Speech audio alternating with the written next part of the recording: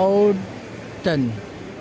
This should be a brand by OEM produced by WLS Village. Village is uh, also uh, an injection molding machine uh, from Ningbo City.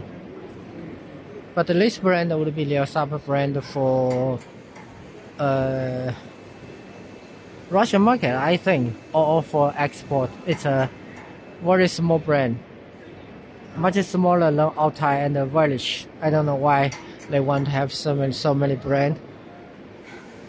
Maybe just to show some difference. I don't know why there's no mold. Also, Village is a solution provider of uh, die casting